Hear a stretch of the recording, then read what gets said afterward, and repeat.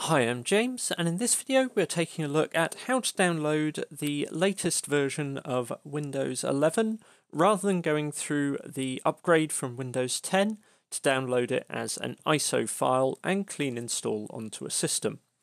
So in this case we are going to go to the website uupdump, uh, so uupdump.net and while the latest version of Windows 11 has officially been tagged as a beta release, it still appears as a dev channel release. So we are going to go into where it has here dev channel. And this will give us the latest developer channel builds on the site. So what we are going to do is click on Windows 11 Insider Preview. We can get the choice of language uh, because I'm in the UK, I'm going to choose English UK. Click Next. We can choose the desired versions that we want in our build. So I'm going to leave that on the default option. Again, hit Next. And we can see with this, it is going to download and convert to ISO. Uh, so this will give us a image that we can write to USB stick and boot from. And it tells us what our total download size is going to be. So I'm going to choose to download and create this package. This then gives us a file here. We are going to extract this into its own folder and then run the download file. Smart Screen will query this. We say run anyway. Confirm the uh, command prompt and this will then fetch the necessary files to build this ISO. Now obviously this is going to take a while, so we're going to leave this recording and I will speed it up to fast forward through to the end.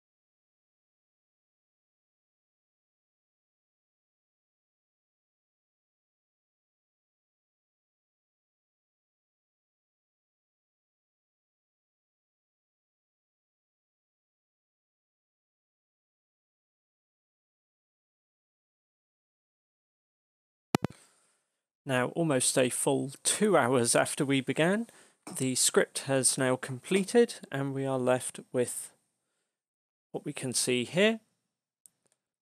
An ISO file in the folder sized 5.447 gigabytes. Now to create our bootable uh, USB stick, we are then going to go, so Windows key and X and disk management. We have our USB stick here and we are going to delete the primary partition on this.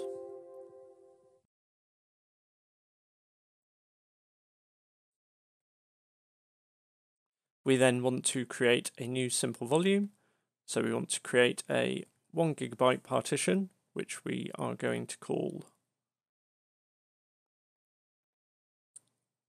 We're going to create that as FAT32 and call it boot.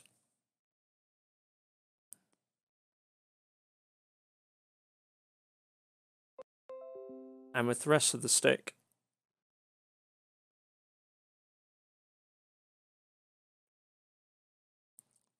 We will then create an NTFS partition.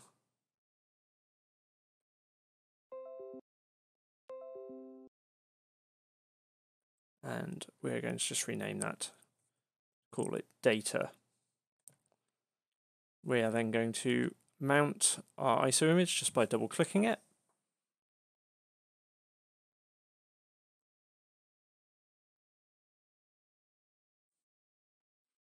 And we are then going to select all of these files and folders except for sources. And we are going to copy them to boot.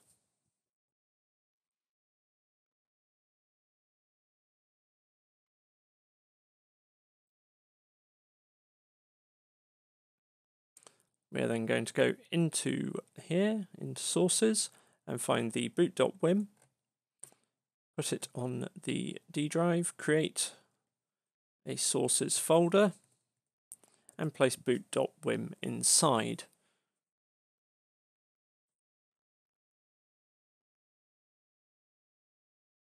We are then going to go back to our mounted ISO image and copy the entire contents onto data.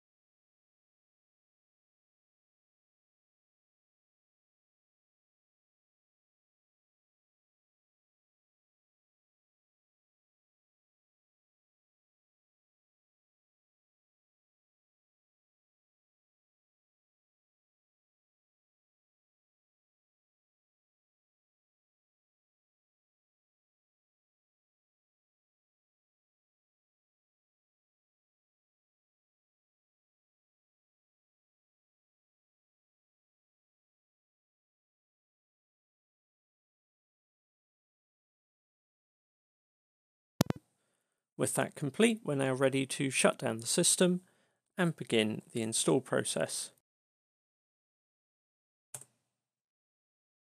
And so by choosing the bootable device here, it took a bit of trial and error because I had to select actually the second device, not the first, to be able to boot from this correctly. And we boot into a familiar looking Windows installer. Uh, this is the same booting from the USB stick as you would expect when you do Windows 10 install.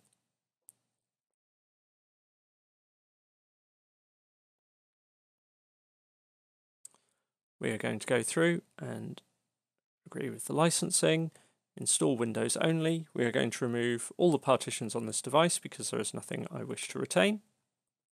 Obviously, do not do this on a system where you have data that you wish to keep.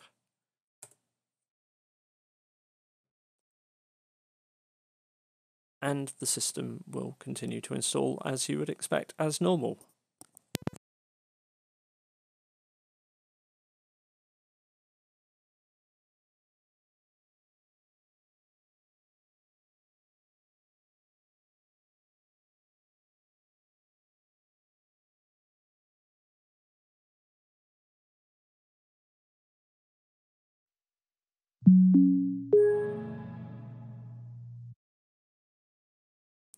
So after this completes, we are brought into the new out-of-box experience where we can walk through the initial setup of Windows 11. So we're going to select our country and region. Because we downloaded the United Kingdom based uh, install medium, this comes up with the defaults as you'd expect. And it's quite a nice new look on this compared to the uh, fairly stale now Windows 10 out-of-box experience. The system will always check for updates. Now, I did previously um, connect this to my wireless and run through the setup, and I've sysprepped it back to standard, so it may skip the network connection dialog. As I have already completed that and it already knows my wireless network, I had to do this to get um, drivers installed. So the machine has detected an update and is going to restart before continuing with the process.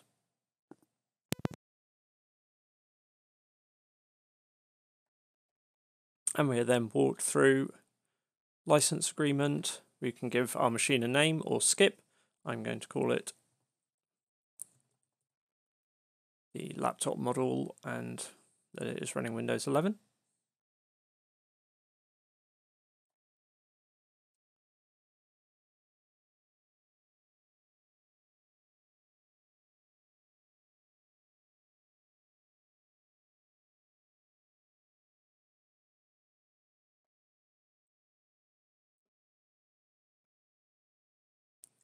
And so the system already knows the wireless network, so we have skipped this. And you have no way of setting up the device without connecting to the internet or joining with a Microsoft account. Um, I'm going to sign this in with my work email and password. And this will add the Microsoft account. There is, unlike uh, Windows 10, where you can connect, uh, well, sorry, refuse to connect to the internet, and then create a local account, you can no longer do that, at least on these preview versions of Windows 11. I am going to skip the fingerprint enrollment for now, although I do like to use them typically.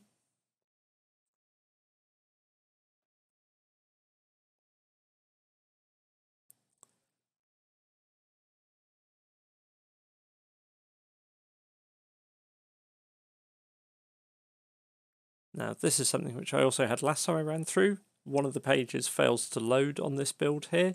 Fortunately, we can skip it. We're going to set this up as a new device because I do not wish to restore data. And one thing I don't like currently is while we can select these options with up and down and enter, I can't just keep hitting enter to accept. I have to manually hit the accept button each time. Um, which is something when you're just testing things, it's quite nice to very quickly be able to skip through these options. There are some options to customize the experience with different applications and things pre-installed, but again, we can skip that.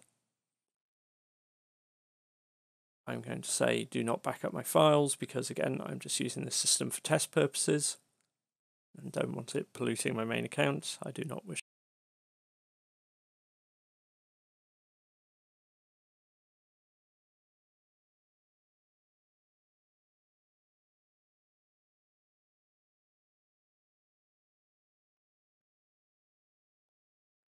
And so we are finally presented with the Windows 11 start menu and home screen. Now, obviously I'm going to be playing with this a bit more in the coming weeks, but I hope you found this video useful just in terms of how to get started getting a clean install rather than having to do the upgrade from Windows 10 onto a system. If you have any questions, let me know in the comments below. Hit like if you found this video helpful and subscribe if you'd like to see more videos as we post them. Thanks for watching.